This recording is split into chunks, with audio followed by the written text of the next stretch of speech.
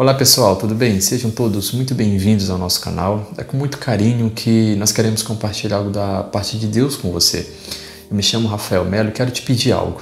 Se você ainda não é inscrito no nosso canal, se inscreva e compartilhe esse vídeo com um amigo, com pessoas que vão ter oportunidade de assistir e com certeza serem transformadas através dessa ministração. Hoje nós queremos falar a respeito de mentalidade. A nossa mentalidade ela não está sujeita a um ambiente, ela não está sujeita a uma mudança, ela não está sujeita a um continente.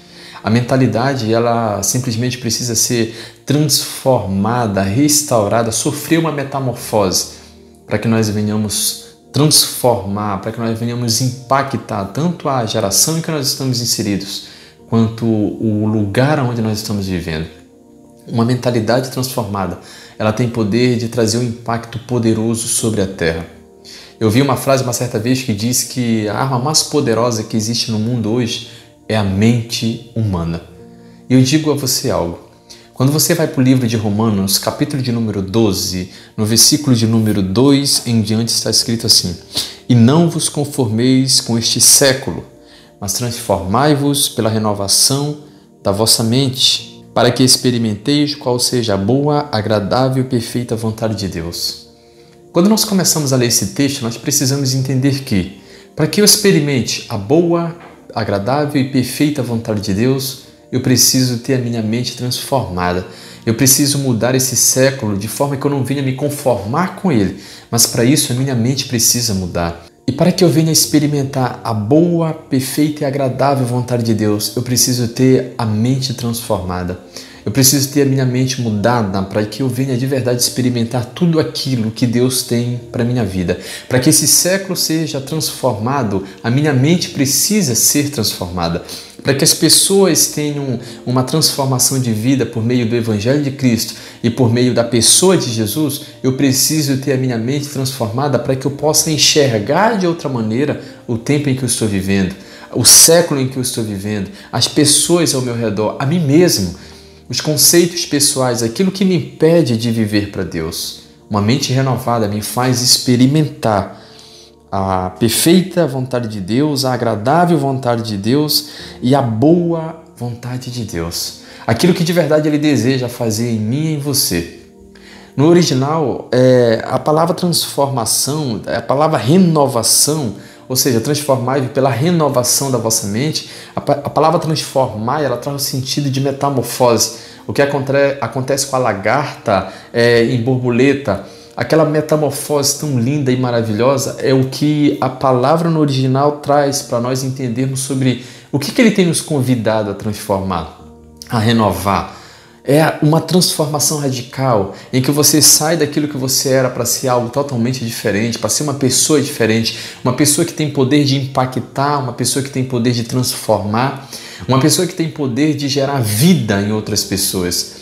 E quando os conceitos, aquilo que eu acredito, aquilo que eu fui ensinado, aquilo que desde a minha infância eu fui adquirindo como um quebra-cabeça e me fizeram muitas das vezes ser hoje aquilo que eu não sou de verdade, aquilo que Deus de verdade não me criou para ser. E quando eu começo a lançar esses conceitos fora, quando eu começo a olhar para Jesus de uma forma diferente, olhar para Deus de uma forma diferente, olhar para o Espírito Santo e perceber que ele não é aquilo que eu sempre acreditei que ele fosse, Daí em diante eu começo a ser transformado para de verdade andar com Ele, para de verdade ser direcionado por Ele e a minha vida passa a, ser, a ter uma, uma, uma, um novo direcionamento. E a minha vida passa a ser totalmente nova, passa a ser diferenciada em tudo.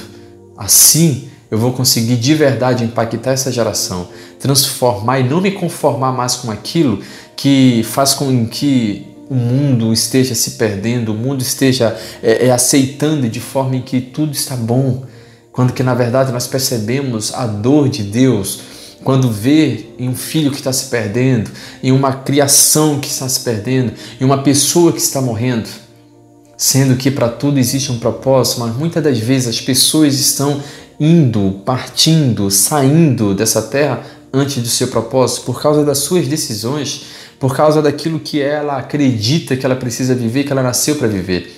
O diabo tem levado pessoas a viverem debaixo de maldições, atormentadas, que tiram as próprias vidas, que sofrem com enfermidades. porque afinal de contas ele enxergou uma brecha ali para destruir a vida dessa pessoa. Mas Deus levantou a mim e a você para destruir, para desfazer as obras do diabo, para termos um impacto sobre essa geração, para poder transformar essa geração. Mas para isso é necessário que nós venhamos transformar a nossa mente, nós venhamos transformar esse mundo pela renovação da, da nossa mente, para que a nossa mentalidade seja diferente. E aonde você estiver, a sua mentalidade será uma mentalidade de Cristo. Você pensará como Ele, você vai agir como Ele, você vai ter atitudes como um filho de Deus. Agora tudo muda. Já não é mais simplesmente uma atitude de antes, tentando mudar aquilo que não tem como. É uma atitude nova em Cristo, com Cristo, mudando o mundo que você não se conforma, porque afinal de contas você tem uma mentalidade diferente daquilo que você tinha e daquilo que de, você, de verdade passou a ser aceito como algo que é normal. Se levante como alguém com uma mente transformada para transformar esse mundo. Mas seja primeiro você transformado, para que as pessoas experimentem a transformação que você sofreu, a transformação que aconteceu dentro de mim e de você. Senão, as coisas não vão mudar. É tempo de nós de verdade nos levantarmos e percebermos: Deus, eis-me aqui. Eu quero ser transformado para transformar. Eu quero ser mudado para mudar. Eu quero ser livre para poder libertar pessoas. Eu quero perceber o teu amor e a tua realidade para poder levar o teu amor e a tua realidade a essas pessoas. Eu quero ser invadido pelo teu amor ao ponto de nunca mais ser o mesmo.